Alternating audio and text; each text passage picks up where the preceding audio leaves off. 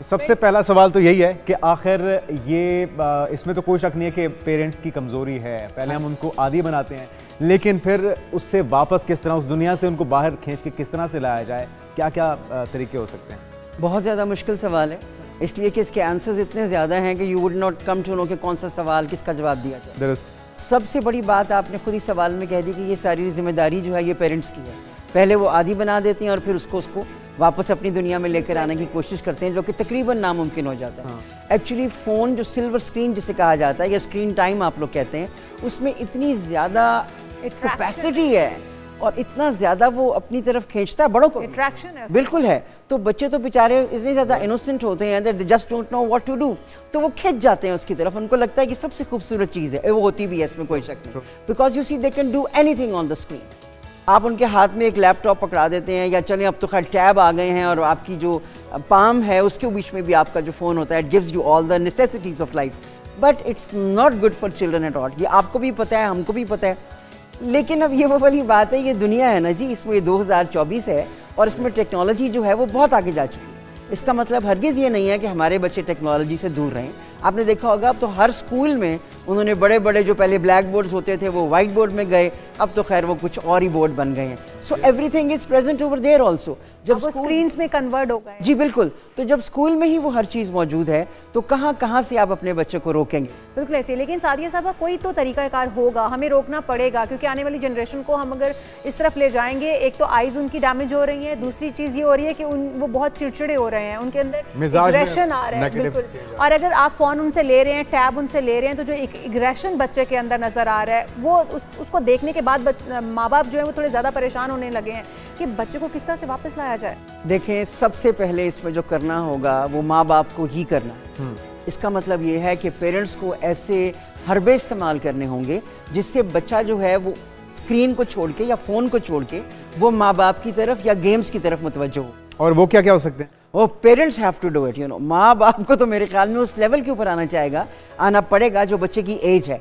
Mental age and physical age also कि आप उनके साथ हर वो चीज़ करने के लिए तैयार हो जाएँ जिसमें बच्चा राज़ी होता है जिसमें गेम्स होंगे। सिर्फ़ अच्छा, अब लाइक जिस तरह रेस्टोरेंट में है किसी पब्लिक प्लेस में है या कोई ऐसी गैदरिंग है समटाइम बच्चे पेरेंट अपने बच्चों को सिनेमा भी ले जाते हैं। अब वहाँ पे खामोशी का माहौल है या आप चाह रहे हैं कि आपका बच्चा ऐसा माहौल ना क्रिएट करे जिससे बाकी डिस्टर्ब हो। वहाँ पे फिर क्या क्या ऑप्शन हो सकते हैं बच्चों को इंगेज करने देखिए अव्वल तो सिनेमा में मेरे ख्याल में बच्चों को इतने छोटे बच्चे जो कि आपके यहाँ थ्री मूवीज़ हैं कोई इस तरह की एंटरटेनमेंट है?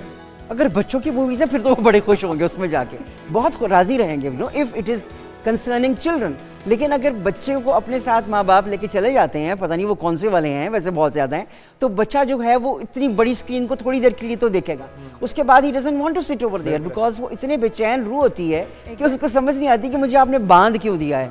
तो मैं आपको यही कहूँगी कि पेरेंट्स को ही करना पड़ेगा। हर चीज़ बेचारों को ना अपनी ज़िंदगी को एक और जाविये में डालना पड़ेगा। हमने देखा कि जो गर्मियों की छुट्टियाँ थी हमने गर्मियों की छुट्टियों में बच्चों को अंगेज कर दिया मोबाइल्स के साथ एक मार्जिन दे दिया कि ठीक है स्कूल जब ख़त्म होंगे तो डेफिनेटली ये वापस जो है उस रूटीन में आ जाएँगे।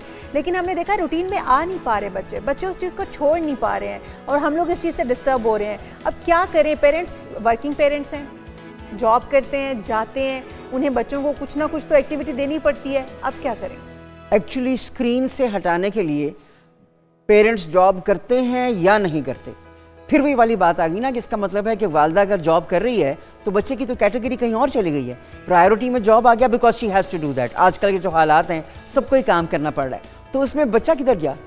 तो फिर प्रायोरिटी आपकी चेंज हो गई ना क्योंकि इकोनॉमिकली आपको पैसा कमाना है। तो बच्चा तो किसी आया के पास होगा या दादी या नानी के पास होगा तो डू नॉट एक्सपेक्ट कि वो आपके आठ घंटे जो वालदा घर पर हैं या आपकी मेड है कुछ भी है वो बच्चे को वही दे सकेगी मोहब्बत जो एक माँ दे सकती है। कभी नहीं दे सकती। इसलिए बच्चा जी जी अटैच रहेगा। अगर वो अगर वो एंगेज हो गया है वो वहाँ से नहीं निकल सकेगा। हर कुर्बानी के लिए माँ बाप को आगे आना पड़ेगा। मैं तो यही कहूँगी ये तो सादिया साहबा हो चुका ना। अब बच्चे अंगेज हो चुके। अब बच्चों को वापस रूटीन की तरफ़ लेकर आना है क्योंकि उनका स्कूल है उसके बाद उनकी ट्यूशन ट्यूटर्स हैं उसके बाद उनका कोई कारी साहब आ रहे हैं या उनको कुरान पाक भी पढ़ना है उसके बाद उनका सोने का टाइम है। लेकिन बच्चों को जब इसके दौरान फ़ोन नहीं मिल रहा वो आदि हो चुके हैं अब तो। उनको फ़ोन नहीं मिल रहा उनको गेमिंग का टाइम नहीं मिल रहा तो उसके अंदर वो चिड़चिड़े हो रहे हैं। उस सूरत हाल से उनको कैसे वापस लाना है? किसी भी एडिक्शन से किसी भी शख्स को निकालने के लिए बहुत ज़्यादा वक्त लगता है। छोटे बच्चों को ज़्यादा लगता है क्योंकि वो अटैच हो चुके होते हैं। उनको ये लगता है जैसे आपने कहा ना वो चिड़चिड़े हो रहे हैं। वो तो होंगे क्योंकि आप उनकी एक लविंग चीज़ को खींच रहे हैं उनसे। आप उनको वहाँ से कैसे निकाला जाएगा कि आपको ये नहीं हो सकता कि आप उनसे फॉर उसको खींच लें? तो टाइम लिमिट को कम करना शुरू कर दें। तो कितना स्क्रीन टाइम होना चाहिए not more than one hour not more but if the child is there for twenty hours और ये छः घंटे कर रहा है तो आप आहिस्ता आहिस्ता कम करें। छः से पाँच, फिर चार, फिर तीन, फिर दो, फिर एक। एक इज़ परफेक्टली ओके आप बच्चे को उससे अलग ना कीजिए। क्योंकि वो एक टेक्नोलॉजी है जिसमें बच्चा सीखता भी है। इट्स नॉट दैट कि वो क्या देखता है आप बच्चे को सिखाने की उसमें कोशिश करते हैं। लैंग्वेज सीखता है कार्टून देखता है और कार्टून से अच्छी बातें सीखता है। लेसन उसको मिलते हैं ज़िंदगी के। और एजुकेशन सिस्टम जो है हमारा वो भी आहिस्ता आहिस्ता हम देख रहे हैं कि क्योंकि बाकी दीगर ममालिक को देखते हुए तब्दील होता जा रहा है। वो टेक्नोलॉजी की तरफ़ जा रहा है। टैब्स जो है स्कूल्स में डिमांड किए गए हैं। वो क्रोम बुक्स जो है वो डिमांड की गई कि बच्चों को अब उसके ऊपर लाया जाए। हम किताबों से भी इस तरह से दूर हो रहे हैं या आप समझते हैं कि ठीक है, हम टेक्नोलॉजी के करीब हो रहे हैं, ये अच्छा है। मैं ज़ाती तौर पर जिस स्कूल ऑफ़ थाट को बिलोंग करती हूँ, उसमें मेरे नज़दीक किताबें बहुत ज़्यादा अहम हैं। जैसे आर्टिफिशियल इंटेलिजेंस अपनी जगह पर है चैट जीपीटी ने तो खैर अब मेरे ख्याल में एक आम इंसान को भी अंग्रेज़ी की वो रगबत सिखा दी है जो उसको पता भी नहीं वो क्या कर रहा है। लिहाजा आजकल का जो बच्चा है, उसको किताब हर हाल में सिखानी है। किताब से मोहब्बत face to face human beings not robots तो जब हम अपनी मोहब्बतें और अपना वक्त उनको देंगे तो आहिस्ता आहिस्ता वो उस तरफ़ चले जाएँगे। लेकिन अब टेक्नोलॉजी इतनी आगे चली गई है कि अब तो रोबोट्स छोटे छोटे भी आ गए हैं। उनको आप प्ले करते हैं तो बच्चों को लगता है कि इससे बेहतर तो मेरी माँ से तो बहुत बेहतर रोबोट है। मुझे ये कुछ कहता नहीं है, क्योंकि माँ का रुतबा जो है उसमें लड़ाई काफ़ी ज़्यादा होती है। वो बहुत ज़्यादा डूज एंड है रोक टोक है। बहुत ज़्यादा ही है रोक टोक हमारे मुल्क में बहुत ज़्यादा है जो कि ज़रूरी भी है लेकिन मेरे ख्याल में माँ का जो एक फिगर है ना उसको भी एक ट्रेनिंग की बहुत ज़्यादा ज़रूरत है कि आजकल के दौर में वो इतनी मॉडर्नाइज होकर भी अपनी औलाद के साथ कैसे कनेक्टेड रहे ताकि बच्चा जो है एक बहुत खूबसूरत इंसान आप सिर्फ़ स्कूल पे टीचर्स पे रिलाई नहीं कर सकते आपको खुद ही ये ज़िम्मेदारी संभालनी होगी। और बच्चों खुद को भी खींच के खुद भी। खुद।